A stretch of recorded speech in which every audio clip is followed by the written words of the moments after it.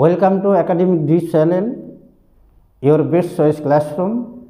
My dear student of HS second year, today we are going to discuss about first chapter of the subject education. The title of the topic is I mean to say subtopic is Secondary Education Commission 1950 and aims of secondary education. Dear student, you observe carefully, here are two points. One is Secondary Education Commission and another is aims of secondary education. So, if you observe the title, it means that aims of secondary education as recommended by Secondary Education Commission. Aims of secondary education, that means what should be the aims of secondary education according to Secondary Education Commission. Why it is 1952-53? Because the commission set up in 1952 in 23 September and the commission submitted its report in 1953 in 29 August.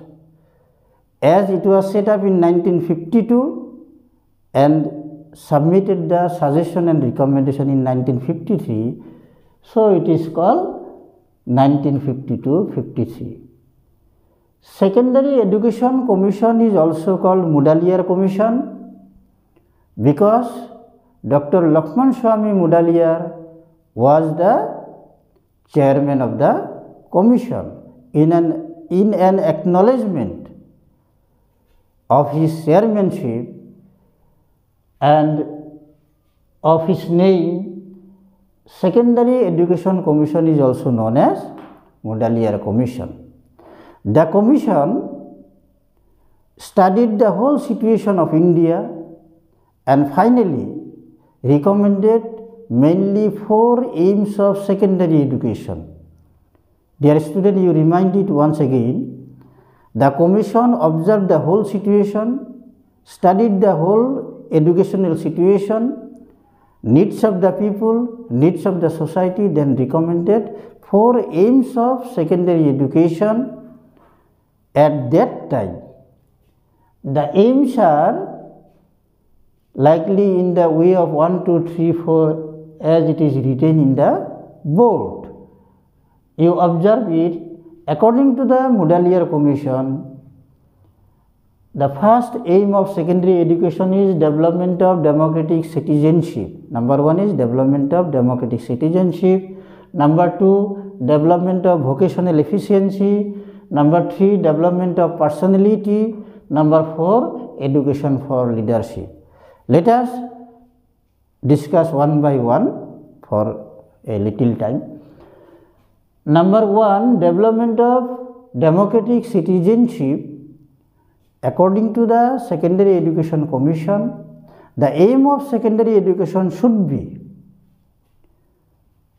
uh, should be development of democratic citizenship or prepare the children in such a way so that they can make success of our democracy. So, all the qualities of uh, all the qualities that needed for the citizen of a democratic country should be developed through the medium of secondary education. Then number two is development of vocational efficiency. So, let us try to understand vocational efficiency. Vocational efficiency efficiencies are those efficiencies which enable individual to earn after the completion of a particular course. So, vocational efficiency make people actually complete in their life. They can take the economic responsibility for individual, for the family, for the society. That is why education of secondary uh, level should be prepared, the curriculum should be prepared in such way, way, such a way, curriculum should design in such a way that ultimately the student of secondary level gradually become efficient to produce something, to do something practically in their life. It should not be only theoretical as recommended by Secondary Education Commission. Number three, development of personality. Personality is a psychological term. It means image of an individual in his society or the fellow people. That is why we should prepare such personality, we should develop ourselves in such a way that a good image can spread in our surrounding. So, our children are the wealth of our wealth of our country. Our children should be prepared in such a way so that they can do all the goods for the society. I mean to say all the good for the society. They can ensure the well-being for the society. They can ensure well-being for the individual life, for the family life and the national life and as a whole in international life.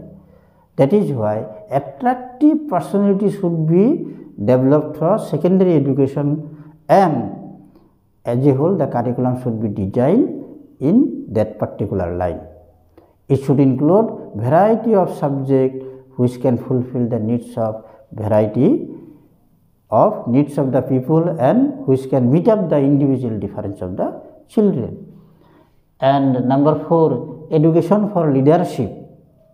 Generally, we have a misconception in younger age that political leaders are the only leader.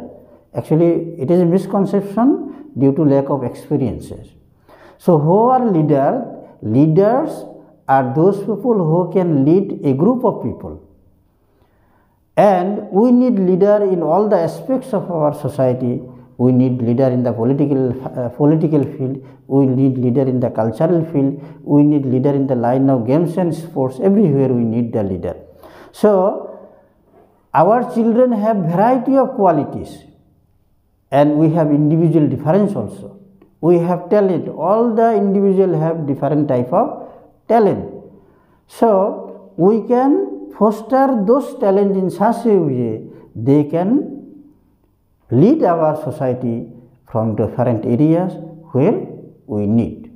So, dear children, I mean to say, dear student, today in summarization we can say that in education of higher secondary second year, it is the first chapter and the subtopic is secondary education commission or Mudaliar commission and according to Mudaliar commission these four points are aims of secondary education. So, if the question is asked what are the aims of secondary education according to secondary education commission or if the question is asked what are the different aims of secondary education according to Mudaliar commission the answer will be same.